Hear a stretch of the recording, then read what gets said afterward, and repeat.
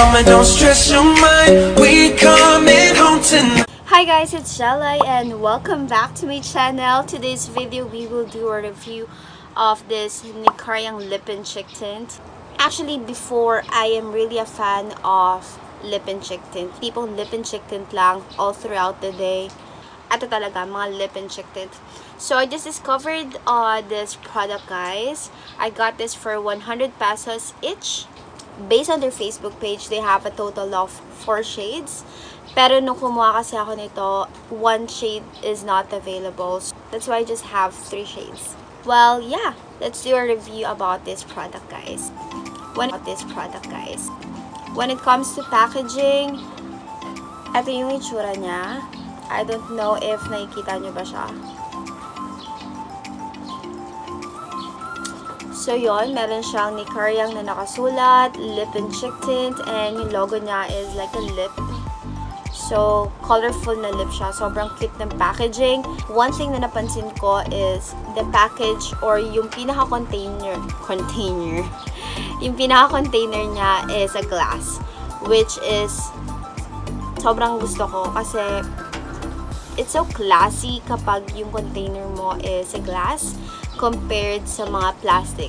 And as you can see, the cap is color black.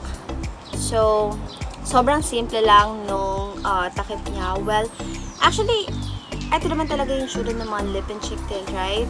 So, well, yun. Sobrang nagustuhan ko lang kasi it's a glass. So, sobrang classy niya talaga tignan. And sabi dito sa gilid ng lalagyan, andito yung mga uh, ingredients. So, it's like a roller. I don't know if you can see it. Yan. It's like a roller. Alam niyo yung mga uh, parang sa mga Dio. Yon, roller siya. So, since I have a total of 3 shades, so let's try na swatch. So, let's so let's try the first shade. Uh, we have here Glamorous. Try natin swatch. Oh. Kita nyo ba? Sobrang red nito. Literal. Sa mga nakakilala sa akin, hindi, talaga ako fan ng mga red lipsticks. Or red, basta red na color sa lips. Kasi medyo natatapangan ako sa face. Siguro magagamit ko siya like pag may party, pero yung parang everyday na lipstick, no. Pero yun, we can try this. Yan. Actually, medyo red na orangey yung color ni Glamorous. And, I think, ang maganda sa kanya is nakakaputi siya. Yun yung tingin ko.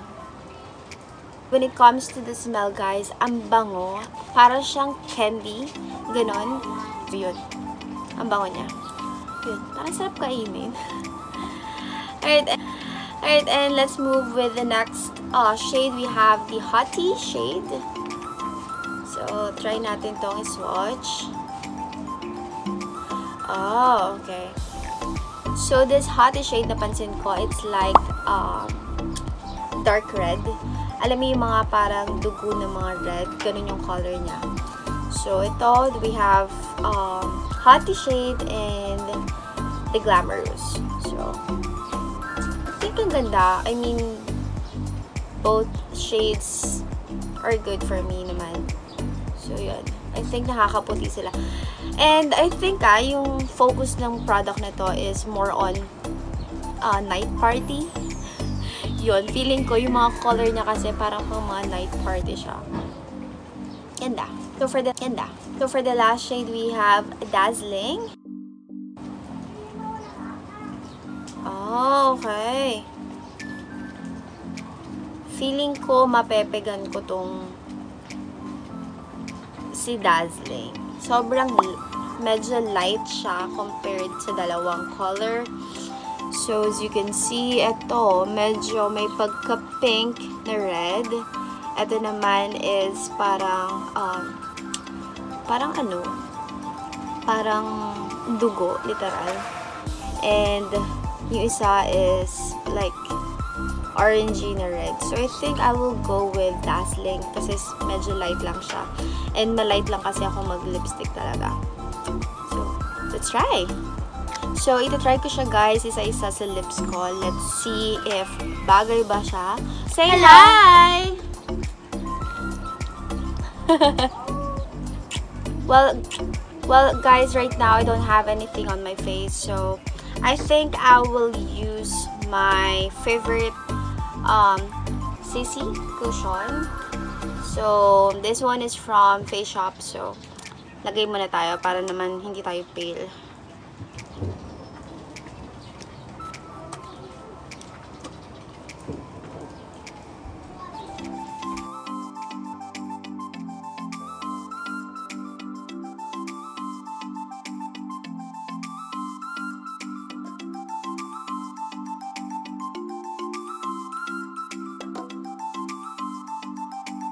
So, let's try this Glamorous.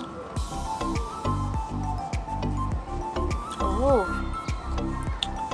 Red, orange nga to. ah. Fairness. Sabi nila, ang technique daw sa isang lip and cheek, I mean sa mga lip tint, um, dapat daw sa loob mo siya nilalagyan muna. Hindi ko alam kung bakit, pero parang mala Korean daw yun.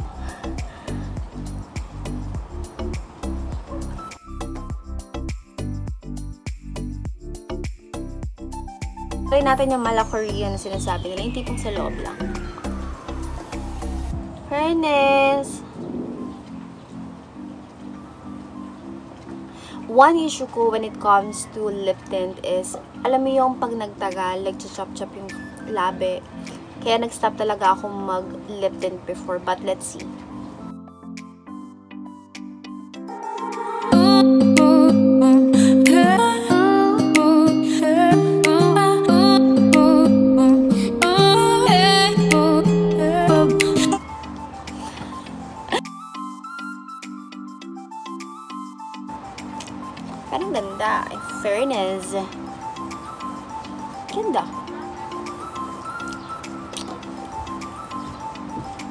Let's try the hottie.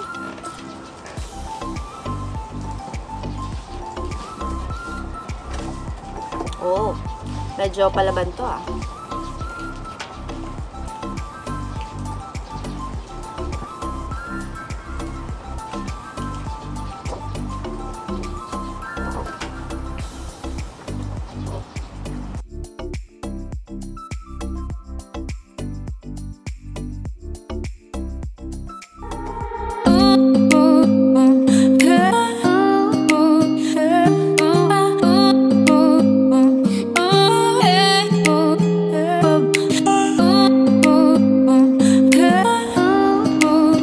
Then let's try, let's try.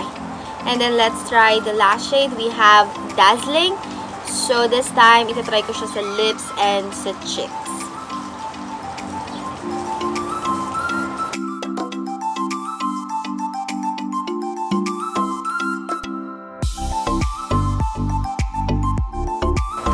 So we're done with lips. And then let's try naman sa cheeks. I think ayoko siyang i-direct na ilagay. Kasi yun yung madalas na nagko-cause ng pimples. So, yan. Wala, ang dami!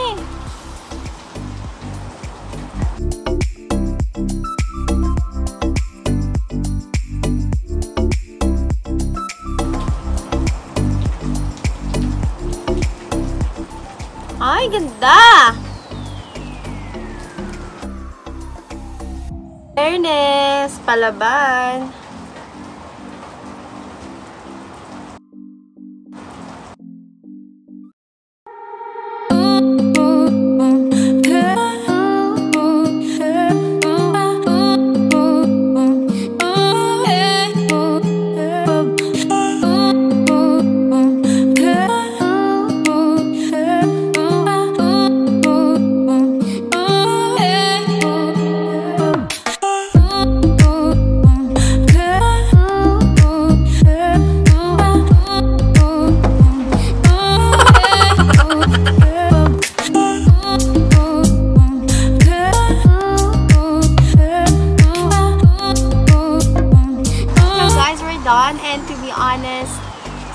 Nagustuhan ko talaga yung product. First thing is of course the packaging. It's a glass. It's so classy. It's so pigmented. Isang roll mo lang, talagang kukulay na siya sa lips mo. Ang smell, it's really good. It's so sweet. It's like a candy. And sobrang nagustuhan ko talaga. It's so comfortable sa lips. Hindi siya mabigat, hindi siya like choppy or anything. Sobrang ganda ng quality. And for the price of 100 pesos guys, sobrang affordable siya. It will give you a beautiful lips and of course a glowing cheek. So, sobrang ganda. And, and yes, I will really recommend this product, guys. And I think if I will rate this product out of 5, I will rate it uh, like 4.9 siguro. Why? It's because, yes, syempre nagagawa niya yung job niya. Kaso may napansin lang ako, it's the roller itself. So, sa dazzling na tinry natin kanina, um, sa unang pag-try ko, medyo nahirapan ako i-roll. Feeling ko may something do sa roller, hindi siya ganun kaayos. Pero still, um, they do their job. It's a lip and cheek tint. Sobrang sulit. It's a 2-in-1 for the price of 100 pesos. So yeah, I think that's it guys for today's video. And if you're interested, please check their Facebook page, Nicorium Lip and Cheek Tint. And of course, I will also put their link on the description box. So check it out guys. So that's it guys for today's video. And of course, if you are new here on my YouTube channel, please do subscribe, comment if you have any suggestions or questions. And again, thank you so much for watching and see you on my next video. Bye!